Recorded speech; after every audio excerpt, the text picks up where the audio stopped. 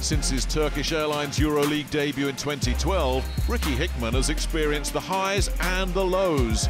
Champion with Maccabi Fox Tel Aviv in 2014, he finished last season rock bottom with Olimpia Milan. The 32-year-old point guard begins this season with a fresh page. His mission to inspire a Brose Bamberg charge to this season's Final Four. It's been really, really exciting to be here. Um, I have so many high expectations for our team, and I think that um, we have a really good group. I think that we all have the same goal, which is to win.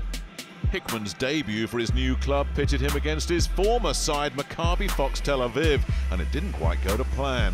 Despite scoring 10 points, his team lost the opener 88 to 71. But it's early days. His new coach, Andrea Trinchieri, has faith. He was playing in second division in Italy. And um, he climbed out that level he was a big part of Maccabi successful season.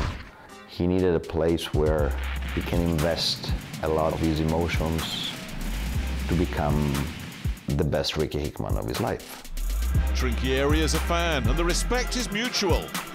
I've always admired the way that his teams played basketball. I always said that even last year I thought that Bamberg played some of the best basketball in Europe. And um, he's very, you know, demanding, so he expects, you know, perfection. Leading the line at Milan last season, having played most minutes, scoring most points and topping the assist chart, Hickman's contribution at Bamberg this campaign will be crucial. Has so much experience, he's a big treasure for me, you know. I just think he's a great guy and a great leader for me, especially because uh, he got a lot of knowledge and uh, I pick his brain often. I can kind of be of a calming, you know, personality on the team and like keep guys, I want to say within the moment, kind of show guys the, you know, the right way to do things, you know, how to work and stuff. And I think that's kind of my role. And anything else the coach needs me to do on the court, that's going to be easy.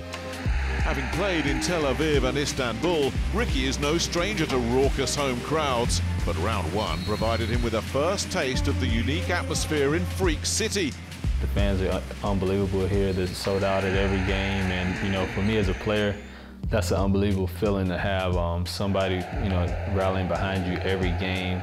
They're just there to, you know, support and be Freak City. So I'm excited about that. With the backing of the Freak City faithful and one of the most enthusiastic coaches in the EuroLeague, Ricky Hickman is well prepared to take Brose Bamberg to their first ever playoff appearance.